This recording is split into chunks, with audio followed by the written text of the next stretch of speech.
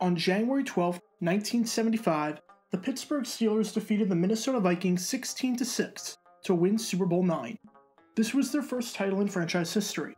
After being the laughingstock of the NFL for years on end, they had finally won it all, and would eventually start one of the league's greatest dynasties by winning four Super Bowls in a six year stretch.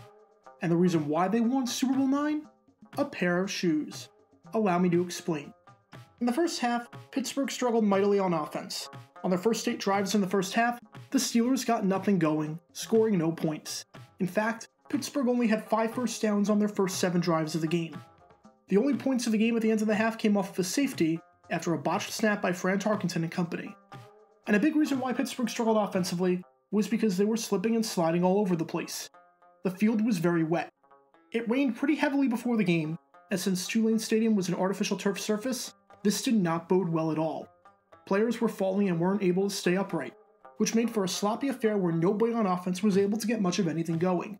At halftime, the Steelers made one of the biggest adjustments in Super Bowl history when they changed their shoes. And the man responsible for that was equipment manager Tony Parisi.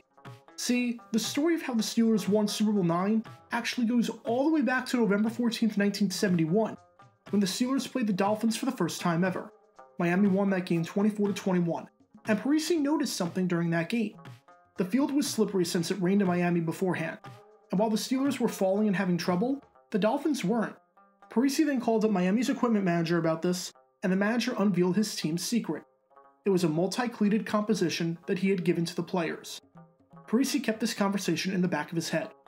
On December 29, 1974, the Steelers defeated the Oakland Raiders in the AFC Championship to advance to their first ever Super Bowl.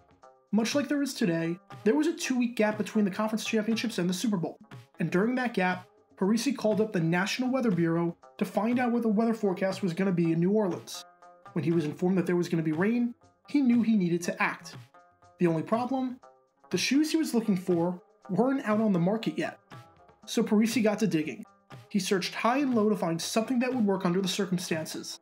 And he found his answer all the way up in Montreal.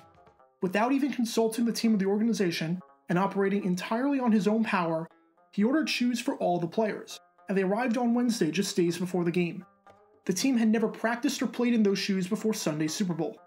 At the end of the first half, the Steelers were looking for a way to stop slipping all over the field. That's when Parisi suggested the shoes. Parisi said that he doesn't dictate to the players what they should wear, but he does suggest certain pieces of equipment, and if they like his suggestion, then that's fine.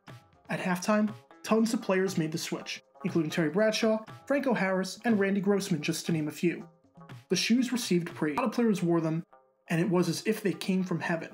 He said that the shoes made a tremendous difference out there, and that he had no idea how Parisi even got the shoes if they weren't out on the market yet. So there you have it. Arguably the greatest dynasty in NFL history began because of a wet field and a pair of shoes.